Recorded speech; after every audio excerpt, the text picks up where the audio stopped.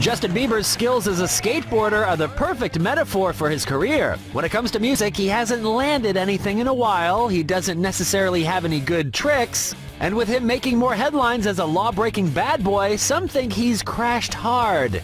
Ouch. Ouch. Ouch. Ouch.